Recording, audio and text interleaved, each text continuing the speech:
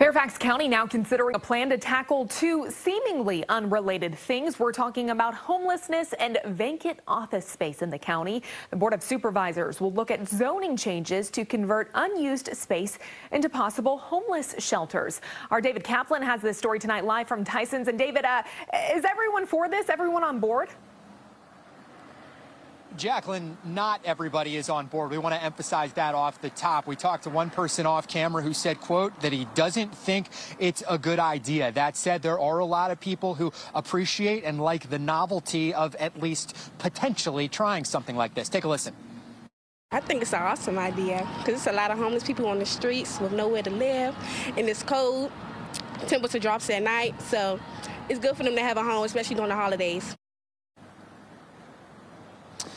For a suburban county, Fairfax County has a very large number of office spaces. They say the second highest in the country for a suburban county. We're here at the intersection of Westwood Center Drive. Want to just emphasize this point. I know it's a little dark. One for lease sign, two for lease signs, three for lease signs, a fourth for lease sign just where we're standing right now. So it just sort of emphasizes the point that there are a lot of vacancies and the Board of Supervisors indicated it's trying to get creative to try and solve both of these issues. Now, in short, the county will consider zoning changes to make it easier to convert unused offices into potential shelters. Board of Supervisors Chair Jeff McKay says there's no crisis of homelessness in the county, but more resources are needed. And with the pandemic affecting office space usage, this could be a fit. Have to emphasize it is very early in this process, but McKay says this will be a very public process, one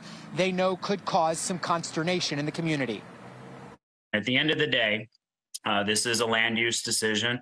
It will be controversial, um, but we also have to think about as a community uh, are we doing everything that we can to help people suffering from homelessness get to self sufficiency? And this may be one more thing that we can consider.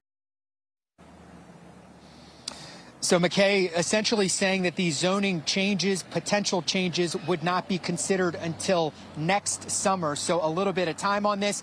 And just to give you an idea of how this might potentially work, essentially the county acts as a middle person connecting nonprofits with office space owners, essentially trying to help formulate and form partnerships that would lead to the conversion potentially of office spaces into potential shelters. So certainly uh, an interesting concept they have here. One will certainly follow in the weeks and months ahead as Fairfax County debates this.